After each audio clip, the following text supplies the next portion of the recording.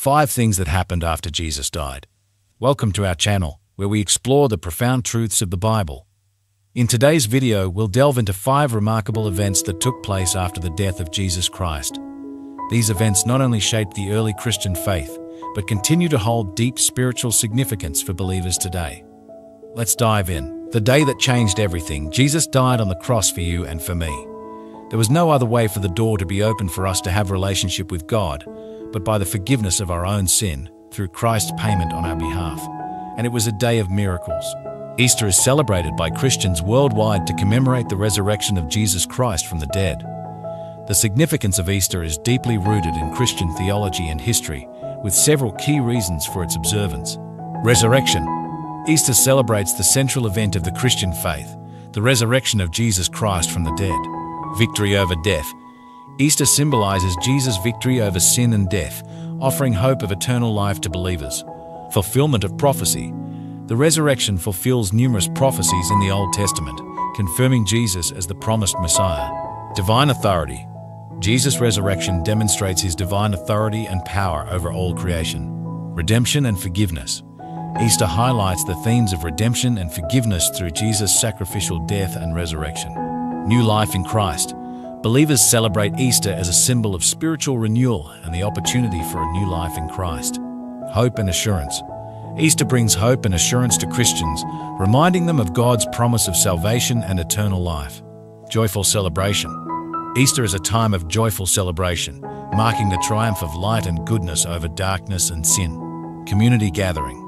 Easter brings together Christian communities for worship, fellowship, and unity in faith. Historical significance. Easter has deep historical significance, tracing back to the early church's observance of Jesus' resurrection.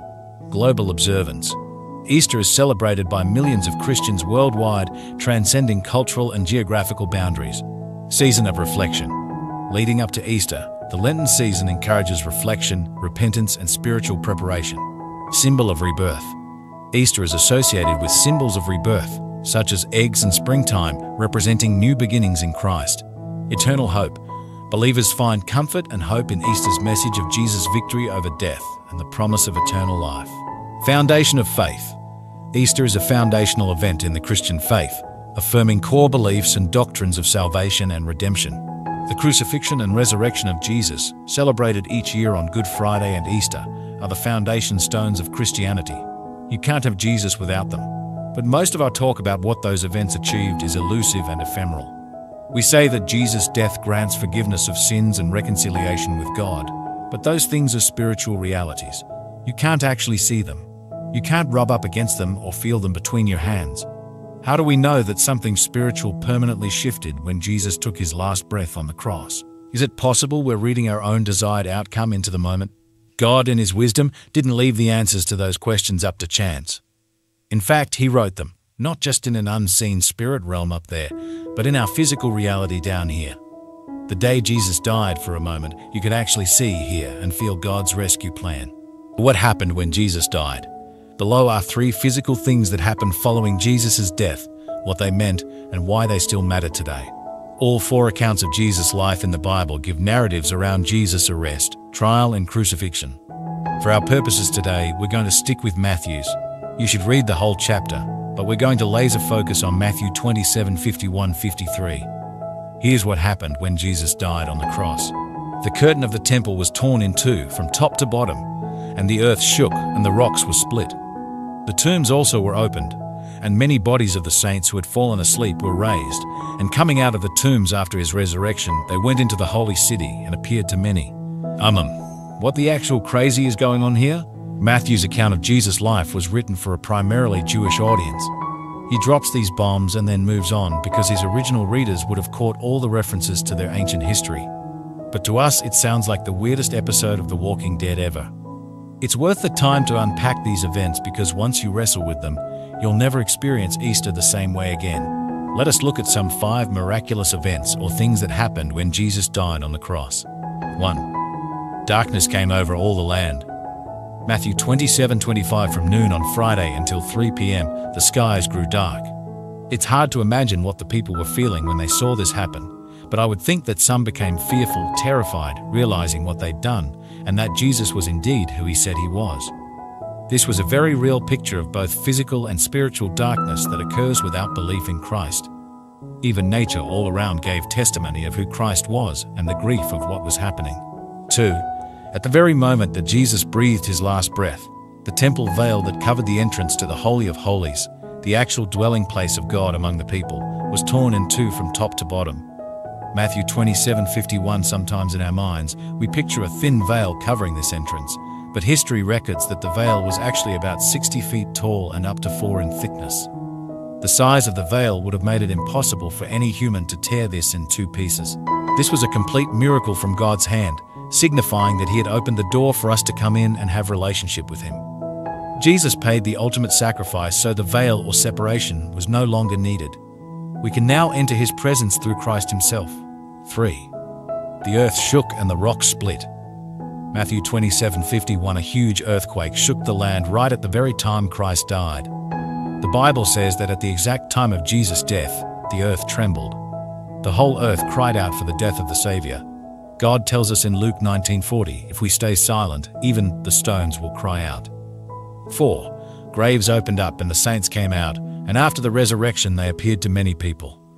Matthew 27 52 53. Can you imagine what this looked like? The dead arose when Jesus died. God brought to life what was dead to fulfill his purposes. Again, he reminds us that the final victory of Christ conquered death. He is Lord over all. He reigns victorious over sin and death. 5. Lives were changed. Many began to realize who Jesus really was, the truth revealed, they could no longer deny it. Matthew 27:54 says, When the centurion and those with him who were guarding Jesus saw the earthquake and all that had happened, they were terrified and exclaimed, Surely he was the Son of God. The realization sank deep. The truth that had the power to change lives, to make all things new, to offer fresh starts, new beginnings, forgiveness, and purpose. Well, there you have it. Five things that happened after Jesus died on the cross. Let us try and study some other phenomenal five things that happened also a little later, just before Jesus' ascension into heaven. 1. Resurrection and empty tomb. The first and most pivotal event after Jesus' death was his resurrection. Three days after his crucifixion, Jesus rose from the dead, demonstrating his victory over sin and death. This miraculous event was accompanied by the discovery of the empty tomb by Mary Magdalene and other women, confirming the reality of his resurrection. 2. Appearances to disciples. Following his resurrection, Jesus appeared to his disciples multiple times. These appearances provided undeniable proof of his victory over death and bolstered the faith of his followers. One notable appearance was to Thomas, who initially doubted but was convinced upon seeing and touching Jesus' wounds. 3. Ascension to heaven. Forty days after his resurrection, Jesus ascended into heaven in the presence of his disciples. This event marked his return to the Father and established his authority over all creation. The ascension paved the way for the coming of the Holy Spirit and the birth of the early church at Pentecost. 4. Outpouring of the Holy Spirit. Ten days after Jesus' ascension, the Holy Spirit descended upon the disciples on the day of Pentecost. This event, known as the outpouring of the Holy Spirit, empowered the disciples to boldly proclaim the gospel and perform signs and wonders. It marked the beginning of the church's mission to spread the message of salvation to all nations. 5. Spread of the gospel and early church growth. Armed with the Holy Spirit's power, the early disciples embarked on a mission to spread the good news of Jesus Christ. Through their preaching, teaching, and miraculous works, the gospel rapidly spread throughout the Roman Empire and beyond. The early church grew exponentially, attracting believers from diverse backgrounds and laying the foundation for Christianity's global impact. In conclusion, one of the key events in all of the Christian Bible's New Testament is the death of Jesus Christ. Of course, his death was the necessary prerequisite for the main event in all of the text. His resurrection from the dead, the miracle that forms the supernatural basis for the entire religion of Christianity. Nevertheless, despite his death being a single part of a larger narrative, the four Gospels Matthew, Mark, Luke, and John collectively give a full picture of the events that took place before and during his crucifixion.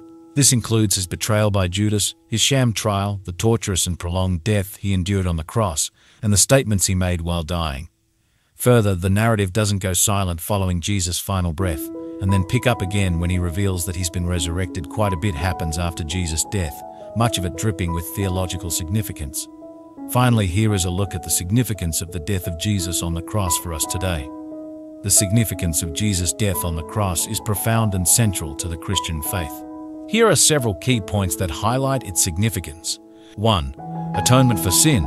Jesus' death on the cross is the ultimate sacrifice that atones for the sins of humanity.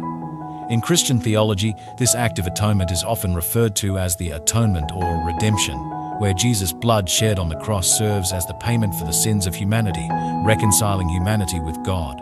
2. Victory over sin and death. Through his death on the cross, Jesus defeated the power of sin and death. The New Testament teaches that Jesus' sacrificial death and subsequent resurrection offer believers victory over the consequences of sin and the assurance of eternal life. 3. Fulfillment of prophecy. Jesus' death on the cross fulfilled numerous prophecies from the Old Testament, emphasizing his role as the long-awaited Messiah and Savior. His crucifixion, burial, and resurrection are integral parts of the fulfillment of God's plan of salvation. 4. Demonstration of love. Jesus' willingness to die on the cross demonstrates the depth of God's love for humanity. The Apostle Paul describes this love in Romans 5:8, stating, But God demonstrates his own love for us in this. While we were still sinners, Christ died for us. 5. Access to God's grace. Through Jesus' sacrificial death, believers gain access to God's grace and forgiveness. The cross represents God's mercy and offers the opportunity for individuals to be reconciled with God and experience spiritual renewal. 6. Model of sacrificial love. Jesus' death on the cross serves as a model of sacrificial love and selflessness. It inspires believers to emulate his example by loving others, serving sacrificially, and prioritizing spiritual values over worldly pursuits. 7. Foundation of Christian faith. The cross is the central symbol of the Christian faith, representing the core beliefs of salvation, forgiveness, and reconciliation with God. It serves as a reminder of Jesus' ultimate sacrifice and the hope that believers have in him. Overall, the significance of Jesus' death on the cross encompasses themes of atonement, victory, love, grace, and foundational beliefs of the Christian faith. It remains a central and transformative aspect of Christian theology and spirituality. The power of the blood of Jesus is a central theme in Christian theology, symbolizing the redemptive and transformative impact of his sacrificial death on the cross. Several key factors contribute to the perceived power of Jesus' blood. Divine origin. The blood of Jesus is considered powerful because it originates from Jesus Christ, who is believed to be the Son of God and the Savior of humanity in Christian faith.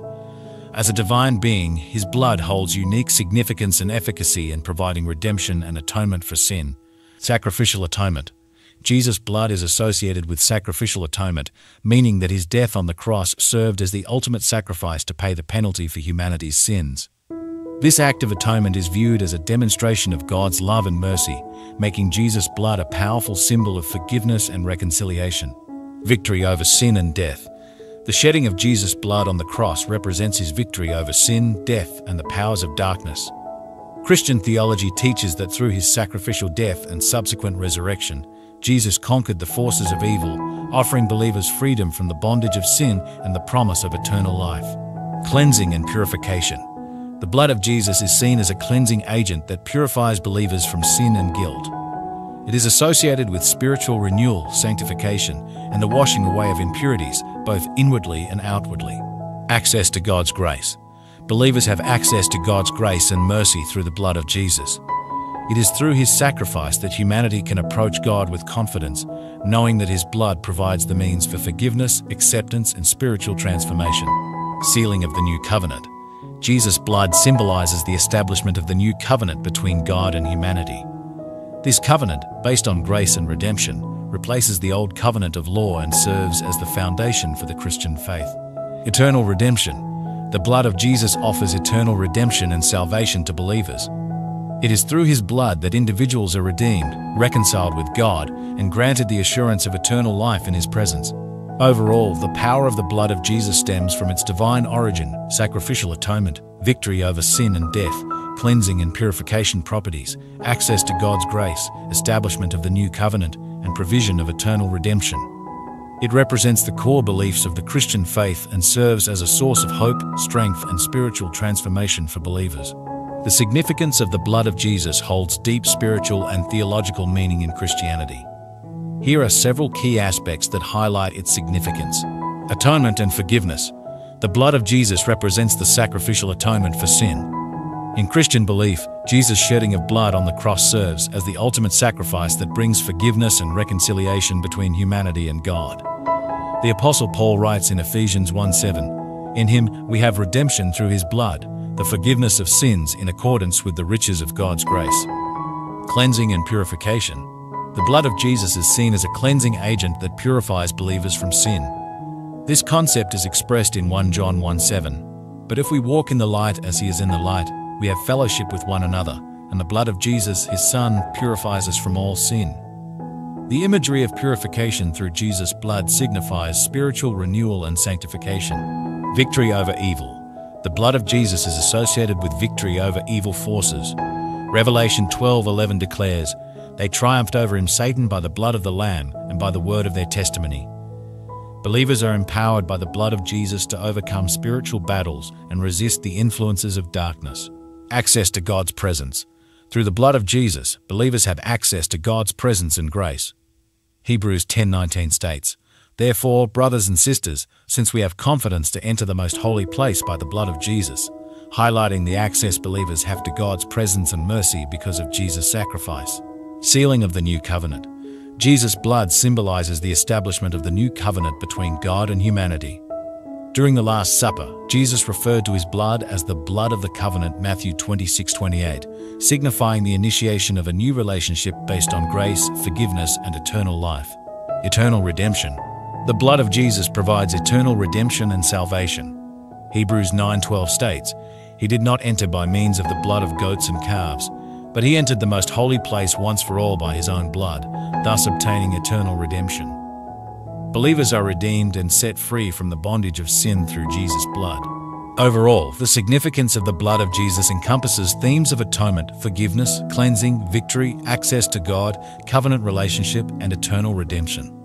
It is a central aspect of Christian theology and spirituality, emphasizing the transformative power of Jesus' sacrifice on the cross.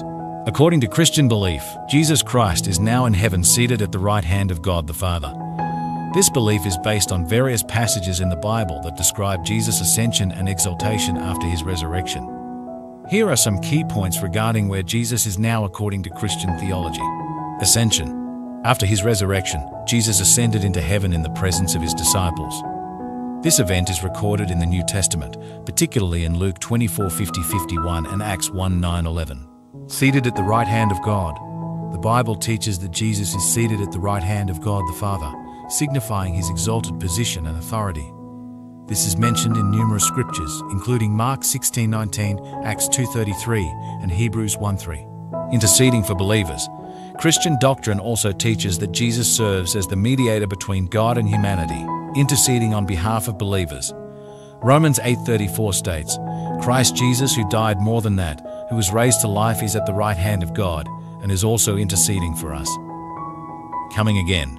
Christians also believe in the second coming of Jesus Christ, where he will return in glory to judge the living and the dead. This belief is based on passages such as Matthew 24:30 and Acts 1:11. Presence through the Holy Spirit. While physically in heaven, Christians believe that Jesus is spiritually present with believers through the Holy Spirit. Jesus promised the presence of the Holy Spirit to his disciples before his ascension John 14, 16, 17, 26, 16, 7, 15. Overall, according to Christian theology, Jesus Christ is now in heaven, seated at the right hand of God, interceding for believers and spiritually present with them through the Holy Spirit. His exaltation and ongoing ministry are foundational beliefs in Christianity, shaping doctrines of salvation, redemption, and the hope of his eventual return. Thank you for joining us as we explored the five significant events that occurred after Jesus' death. These events not only affirm the core beliefs of the Christian faith, but also inspire us to live with hope and confidence in the victory of Christ.